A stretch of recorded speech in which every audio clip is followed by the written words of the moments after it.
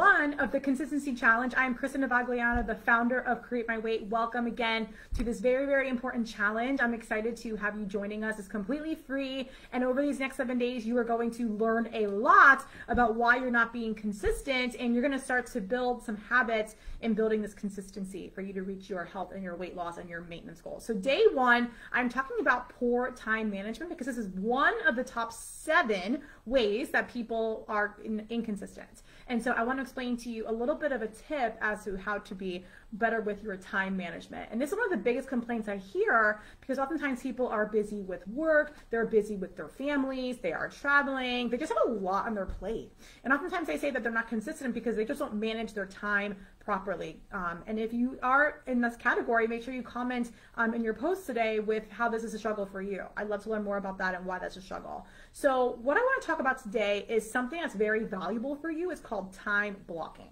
And I know many of you have probably heard of this before, but I want to talk about what I mean by time blocking and what I want you to try to do this week, especially when it comes to that one habit that you're working on this week. Okay. So, whatever your habit is, whether it's going for a walk, drinking more water, it is cooking a meal, it is going to bed on time, I want you to treat that habit like an appointment.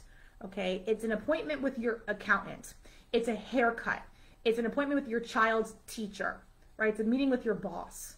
I want you to treat it like it is the most important thing and you wouldn't miss it for the world.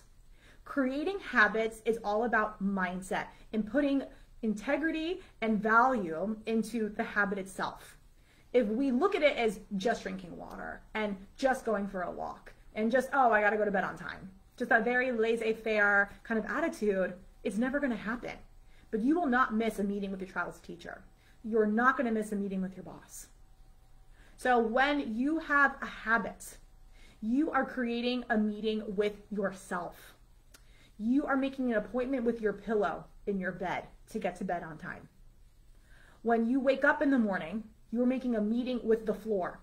I am putting two feet on the floor. I'm getting my butt up. All right. I love the Mel Robbins five second rule. Five, four, three, two, get up right? Before you have time to talk yourself out of something, before you have time to hit the snooze button, before you have time to think, oh, I'm just to say it a little bit later. Mm-mm. Five, four, three, two, one, do it. You're to de escalate yourself and stop the spiraling of all those negative thoughts. Don't give yourself more than five seconds. If you do, you will more likely talk yourself out of it. Oh man, I don't really want to go for a walk, but I know my habits to, you know, get 30 minutes a day. Five, four, three, two, where are my sneakers? They're going on my feet right now. All right, so there's another little tidbit for you. The five second rule, I love it. And then also just treating it like an appointment. Actually, one of my favorite um, examples is like a workout, right? Let's say your, your goal is to work out every day this week or do something active every day this week. I want you to put that as an appointment in your calendar and I want you to call it something that is valuable to you. So for example, I've worked with a lot of brides, okay? And brides want to have sexy arms, they want a sexy back, so they look great in their wedding dress. So I had a client once named Jessica, and she actually put in her phone, okay, on her, her Google Calendar, um, every time she was going to work out, it was called Bringing Sexy Back from like 12 to 1 o'clock. It was, she worked out in the middle of the day.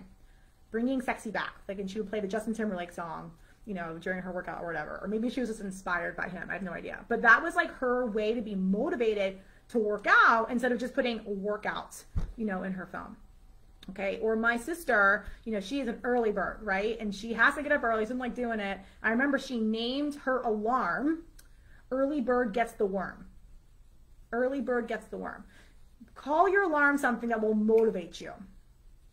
All right, um, just naming it is a way to change your mindset around that. So it's not just putting the time into your calendar and treating it like an appointment but it's also looking at it in a way that you realize this is a gift.